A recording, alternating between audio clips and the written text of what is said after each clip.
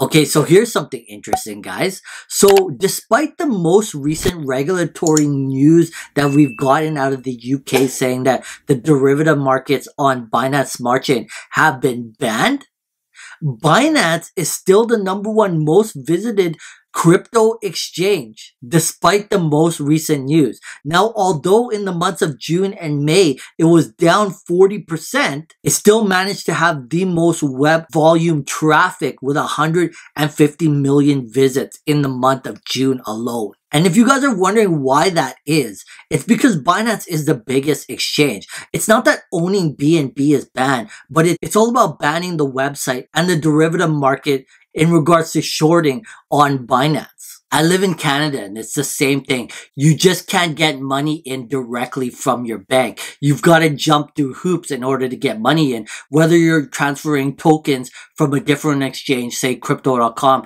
to Binance in order to purchase various tokens on the platform. And if you call your bank, they'll tell you that they don't allow transferring money into gambling sites, which is kind of strange because I live in Canada and the Canadian Lottery Corporation if you live out here in Canada and you play poker, we have our own poker platform, which is playnow.com, which is very similar to Poker Stars, but 10 times better. If you play Texas Hold'em poker, you would love playnow.com because it's a small community. It's only available for Canadians, so you don't get a whole bunch of loosey-goosey tournaments. But that's another topic. The reason why I'm talking about this is because if you call your bank and you say, how come I can't get money into Binance? They'll tell you, we don't allow money transferring into gambling sites, yet the Canadian Lottery Corporation allows us to play on playnow.com and purchase our lottery tickets online every week whenever you want to.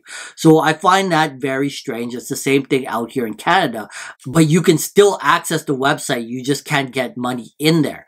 And to be honest, I don't do any trading on Binance at all. It's all about PancakeSwap. And in order for you to use PancakeSwap, you have to own BNB token. And this is why the BNB token has been able to hold its position. Because of all the people building on the Binance Smart Chain using the token as well as having to purchase the token to purchase other tokens in PancakeSwap. And when we look at this list and we look at the top 10 cryptos, it should actually scare you and keep you a little bit away from some of the bigger, larger cap coins because you can see in the sixth place, we've got Bybit Exchange. And we know anybody that is trading on Bybit is all about shorting Bitcoin and Ethereum. But what's interesting here is if we look at the fourth place, you got PancakeSwap in the number four spot for the most web volume traffic with 18 million visits in the month of June alone. And that has everything to do with Binance, BNB coin, because in order for you to trade on PancakeSwap, you have to own BNB coin. And all the projects that are currently being built on the Binance Smart Chain because of low transaction fees and high transaction speeds, this is the reason why BNB coin has held its price. Guys, if you don't own any BNB for whatever reason, now is the time to be accumulating as much as you can while the price is down. When we look back a month, BNB was over a hundred billion dollar market cap and we dropped down to about a $50 billion market cap. So there is easily a 2x to the all time high, but I truly think it doesn't stop there with more projects being built on the Binance Smart Chain and more people having to hold BNB coin in order to trade in the DEX exchanges like PancakeSwap. Now, now, if you guys follow my channel, there have been some projects most recently that I was promoting that turned out to be bad seeds and they turned out to be scam coins. And I hate those people and those projects for doing that, guys, because it only takes one bad seed to throw some dirt and ruin it for everybody else. But there is a project that I've actually been following for the past few weeks.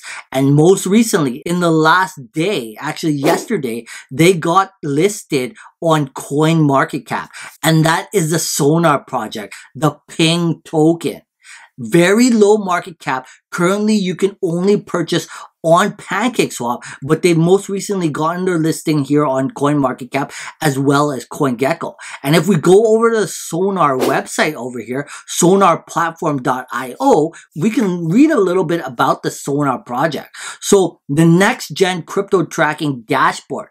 Meet the most complete and easy to use tracking and analytics tool for the Binance Smart Chain and Ethereum network. And what separates Sonar from all the other tracking dashboards out there is they go more in depth in regards to tracking and technical analysis, as well as tracking social media volume in regards to your favorite tokens. They've also got a Web3 digital wallet in the works, similar to what Trust Wallet is. So a Web3 wallet for you to connect to various dApps and swaps, as well as store your NFTs and your tokens all in one place. Very much what Trust Wallet is. A very ambitious roadmap, first class tokenomics, tokens staked in PancakeSwap liquidity, your tokens, your money makes money as soon as you purchase, and the team is actually doxed.